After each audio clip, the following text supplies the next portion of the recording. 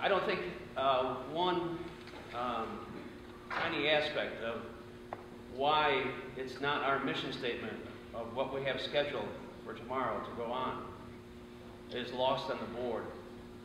Um, So it's, it's not for a lack of appreciation of the efforts that go on in the classroom or for um, the importance of the young people that um, receive the professional services of our teachers and staff. And um, so all I can do is pledge that we will work very hard to find that settlement, to find that common ground. And we will find a common ground. I've been worried about this from the day the school year started.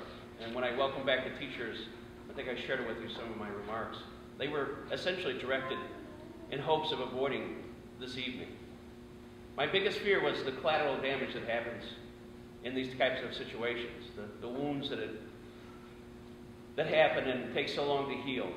So um, the only thing I try to do all throughout is to make sure that the other side know they are respected and um, to try to keep the dialogue and discussion as professional as possible.